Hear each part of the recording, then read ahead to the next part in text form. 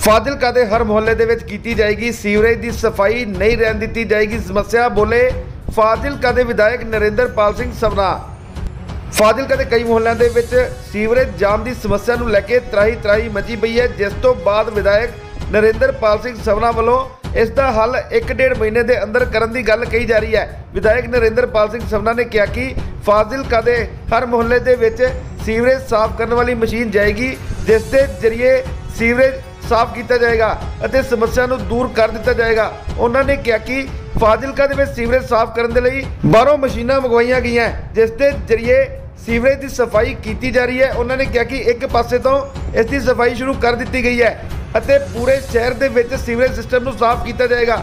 ਉਹਨਾਂ ਨੇ ਸ਼ਹਿਰ ਵਾਸੀਆਂ ਤੋਂ ਸਹਿਯੋਗ ਦੀ ਅਪੀਲ ਕੀਤੀ ਹੈ। ਲੋਕਾਂ ਨੂੰ ਇਹੀ ਇੱਕ ਅਪੀਲ ਕਰਾਂਗਾ ਮਸ਼ੀਨ ਜੋ ਅਸੀਂ ਵਿਦ ਕੈਮਰਾ ਪਾਈਪਾਂ ਦੇ ਵਿੱਚ ਕੈਮਰੇ ਫਿੱਟ ਹੁੰਦੇ ਨੇ, ਉਹ ਵਾਲੀਆਂ ਮਸ਼ੀਨਾਂ ਮੰਗਵਾਈਆਂ ਨੇ ਔਰ ਅਸੀਂ ਇੱਕ ਸਾਈਡ ਤੋਂ ਸ਼ਹਿਰ ਦੇ ਲੱਗ ਚੁੱਕੇ ਹਾਂ।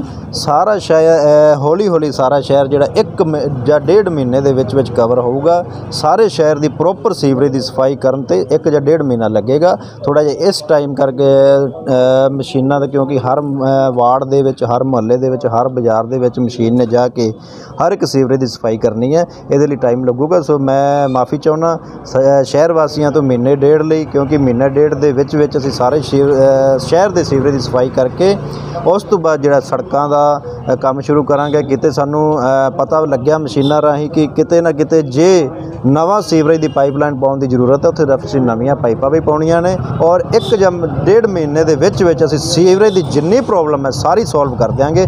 ਪਿਛਲੀਆਂ ਸਰਕਾਰਾਂ ਨੇ ਅੱਜ ਤੱਕ ਕਿਸੇ ਵੀ ਥਾਂ ਤੇ ਸੀਵਰੇਜ ਦੀ ਸਫ਼ਾਈ ਨਹੀਂ ਕਰਾਈ। ਹੁਣ ਆਉਂਦੇ ਹੀ ਜਿਹੜੀ ਹੈ, ਸਾਨੂੰ ਇਹ ਬਹੁਤ ਲੰਮੇ ਚਿਰ ਤੋਂ ਸਮੱਸਿਆ ਸੀ। ਆਉਂਦੇ ਸਰ ਨਾਲ ਪਹਿਲਾਂ ਅਸੀਂ 45 ਲੱਖ ਦਾ ਇਹ ਟੈਂਡਰ ਲਗਾ ਕੇ ਸੀਵਰੇਜ ਦੀ ਸਫ਼ਾਈ ਕਰਨ ਦਾ ਕੰਮ ਸ਼ੁਰੂ ਕੀਤਾ। ਔਰ ਜੋ ਇੱਕ ਜਾਂ ਡੇਢ ਮਹੀਨੇ ਦੇ ਵਿੱਚ ਵਿੱਚ ਪੂਰਾ ਹੋ ਜਾਊਗਾ ਔਰ ਉਸ ਤੋਂ ਬਾਅਦ ਕਿਸੇ ਨੂੰ ਵੀ ਕੋਈ ਇਹੋ ਜਿਹੀ ਮੁਸ਼ਕਲ ਨਹੀਂ ਆਊਗੀ।